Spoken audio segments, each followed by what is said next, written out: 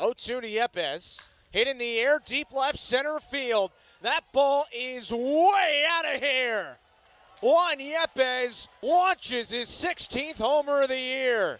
And the Birds are right back in it. It's 5-3 in the sixth.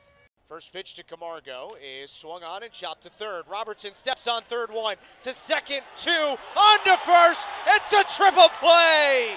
Two on one could be developing. Murphy sends it across, and O'Neill scores. Comes back out to Zahira Leslam, who just scored. Cave shoots and scores again. Williams again for three and one. A chance for four.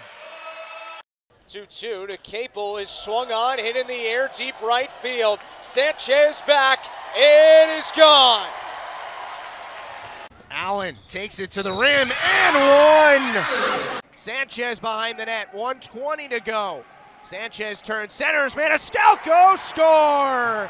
A pleasant good afternoon, everyone. Along with Dom Patrick, I'm Justin Gallanty.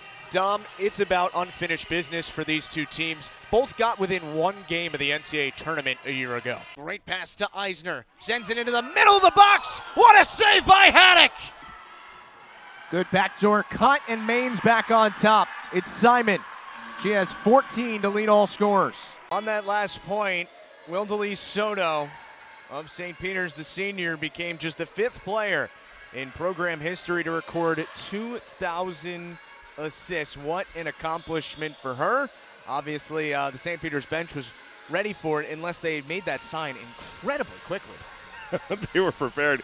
Finds Power Cassidy in the corner for three. We're flying up and down the ice. Two on one for the Tigers. Merriman scores. Stritzel, NBA distance. Got it! It's down to four. The 1 0. Hit in the air to deep right field. Stokes looks up, and that ball is gone. Get your popcorn ready. St. Peter's within one. Canisius, though, two points from the set. Alvarado, a service error, and set point coming for the Golden Griffins. That was a uh, that was a letdown from Get Your Popcorn Ready. I'll say.